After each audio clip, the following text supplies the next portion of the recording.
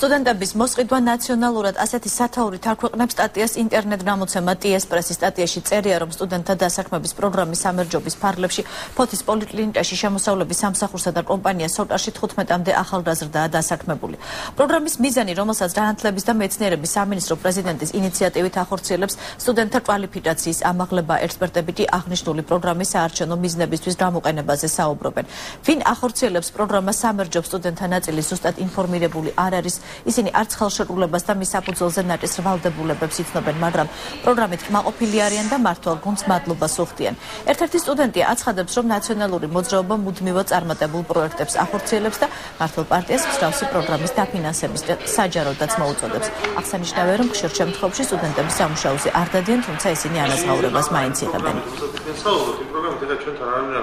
დადებითად არ განწყობილი პირიქით, დაცუბრობათი ადგილები იქნება ასეთი პროგრამები იქნება სტუდენტები უფრო ინტეგრირებული გახდებიან.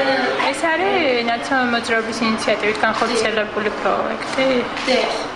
ფოთის სამსახურში ანუ ბახარის ამდენიმე დეპარტამენტის აქ არის სერვის ცენტრი და არის მონიტორინგის სამართლობა და ახლა მეტაპზე ხა ხდება პრაქტიკანტების მომზადება და რა იმ პროგრამად ფულს